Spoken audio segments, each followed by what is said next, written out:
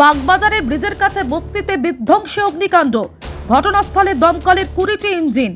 মায়ের বাড়ির অফিসের এক অংশে আগুন লেগেছে। আগুন খুব দ্রুত গতিতে ছড়িয়ে পড়ে। উত্তরমুখী রাস্তায় বন্ধ যান চলাচল। একের পর এক সিলিন্ডারের বিস্ফোরণ হয়েছে। জানা গিয়েছে, এখনও পর্যন্ত মোট পাঁচটি সিলিন্ডারের বিস্ফোরণ হয়েছে। আশেপাশে এলাকায় ছড়িয়ে পড়েছে আগুন। উত্তরমুখী রাস্তায় যান চলাচল বন্ধ থাকায় বিশাল যানজটের সৃষ্টি হয়েছে। পরিস্থিতি রীতিমতো ভয়ঙ্কর হয়ে উঠেছে।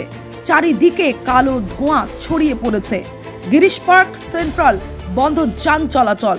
দ্রুত আগুন নিয়ন্ত্রণ করার চেষ্টা চালাচ্ছেন দমকলের কর্মীরা। স্থানীয়রাও আগুন নিয়ন্ত্রণে আনার জন্য আগুন নিয়ন্ত্রণের কাজে হাত লাগিয়েছেন। সময় মতো দমকল না আসায় স্থানীয়রা বিক্ষোভ দেখিয়েছেন। ঘটনা ঘিরে এলাকায় চাঞ্চল্য তৈরি হয়েছে। মহারাজরাও মায়ের বাড়ি থেকে আতঙ্কে বেরিয়ে পড়েছেন। বস্তির মধ্যে দাহ্য পদার্থ থাকায় আগুন ভয়াবহ আকার ধারণ করেছে বলে জানা গিয়েছে।